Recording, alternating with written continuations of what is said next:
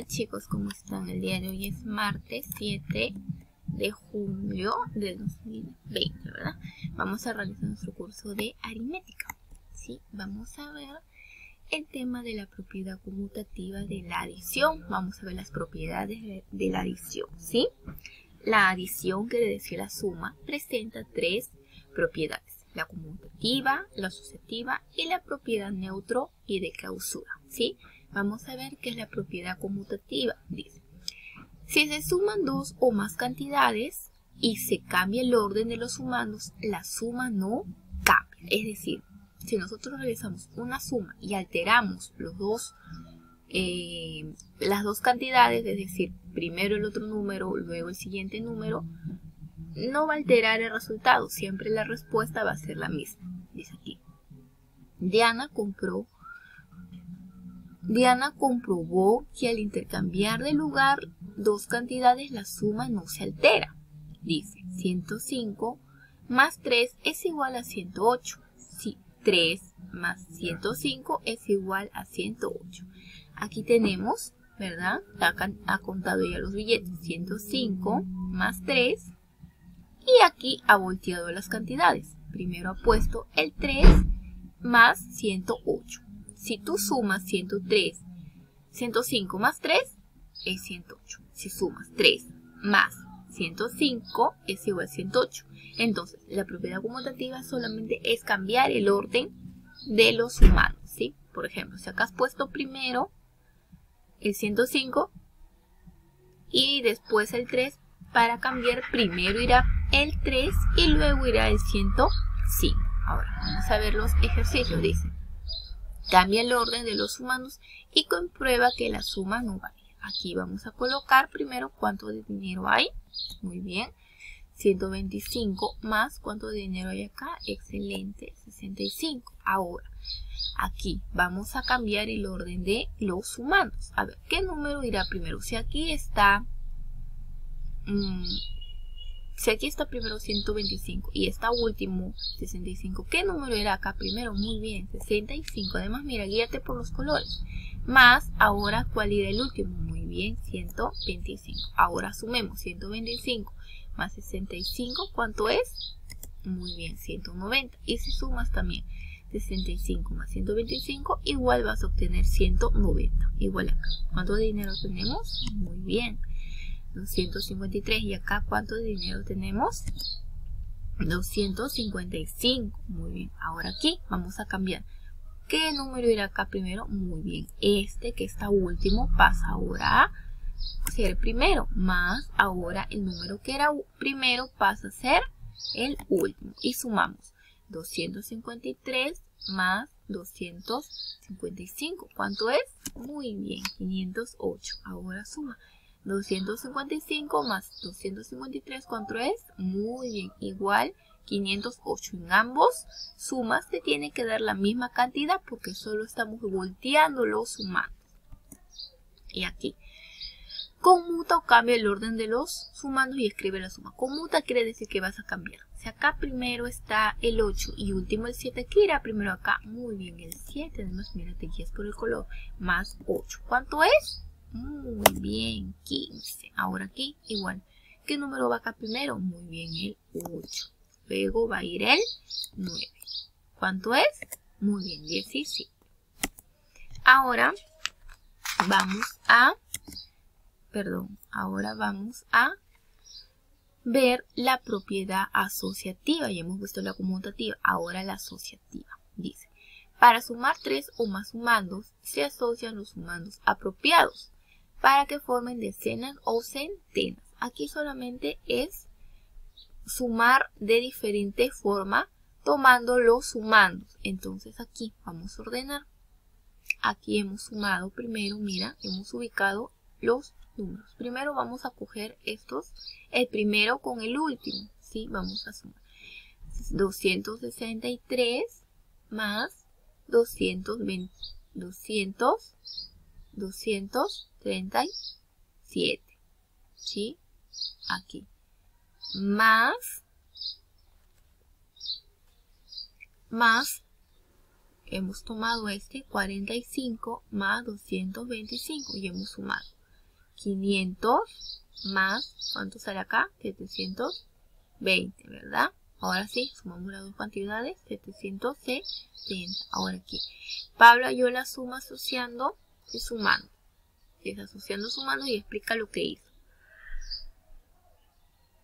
Dice, asocio 138, perdón, 388 con 212 y formo 6 centenas.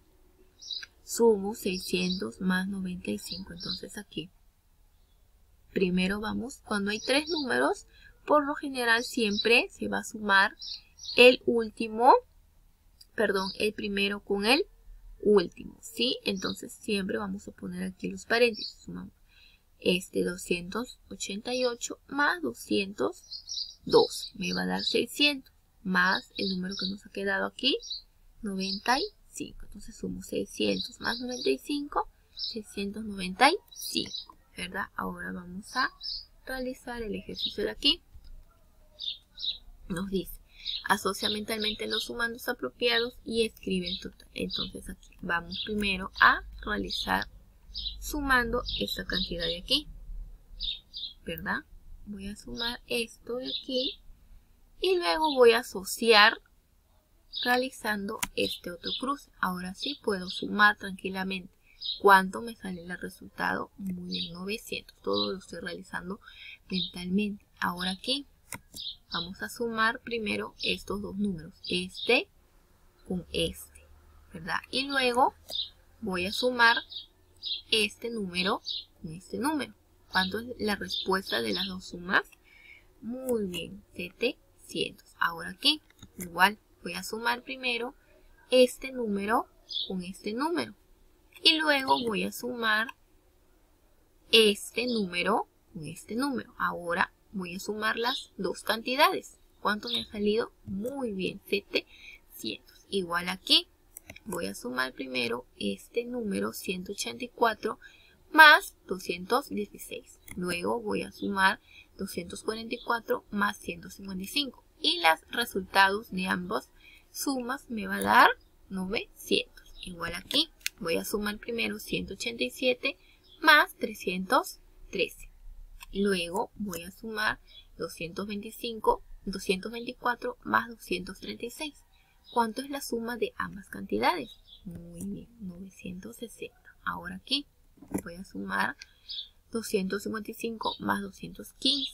Y finalmente 216 más 288. Ahora, la cantidad, la respuesta de ambas cantidades, lo voy a sumar, me da 970.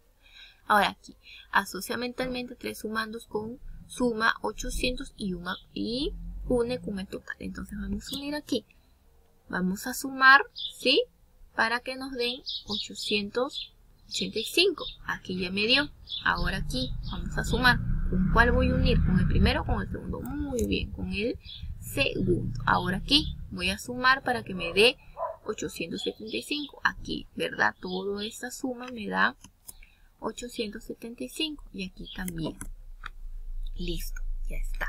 Ahora, vamos a realizar la última propiedad de la adición, que es la propiedad de clausura y el elemento neutro. aquí. La propiedad de clausura, la suma de dos o más números naturales resulta otro número natural. Quiere decir que cualquier suma me, va a dar un número. Y el elemento neutro, la suma de un número con el cero es el mismo número. Siempre para el elemento neutro vas a ver que vas a encontrar en la suma un cero, pero el cero como en realidad no tiene valor, no vale nada, no va a alterar la respuesta. Entonces dice aquí, la suma de dos números naturales es otro número natural. Si yo sumo 5 más 5 me va a dar 10. Esto quiere decir que es un elemento neutro porque estoy encontrando un resultado. Ahora aquí yo he escribe algunos ejemplos de la propiedad de elemento neutro y explica la propiedad. Como te había dicho, todo número sumado por 0 siempre me va a dar el mismo resultado. 325 más 0 voy a obtener el mismo resultado que es 325. Si yo sumo 0 más 284 voy a obtener el mismo número como respuesta que es 284. Igual aquí 300 más 0 voy a obtener 400 que es el mismo número. Todo elemento neutro eh, siempre es el mismo resultado. Ahora aquí escribe las Sumas aplicando la propiedad de clausura. Entonces, primero vamos a sumar panes con panes, 615 más 288 nos va a dar 900. Ahora vamos a sumar las peras, 543 más 157, 700, ¿verdad? Siempre me va a dar un resultado en el, en el neutro. Ahora igual, niños con niñas, 262 más 238, ¿cuánto? 600. Ahora las niñas, 248 más 272. ¿Cuánto? Muy bien, 700. Ahora vamos a sumar las rosas. 356 más 444. ¿Cuánto es? Muy bien. Y por último las dalias. 284 más 616. Listo. 900. Ahora, desde aquí, escribe la suma y la propiedad que cumple. Vamos a sumar 270 270 más 350. ¿Cuánto es? 620 pollos. Entonces, ¿qué propiedad es? ¿De clausura o neutro? Muy bien, es de clausura porque tengo un resultado. Y además aquí ves que no hay ceros. Ahora aquí, mira.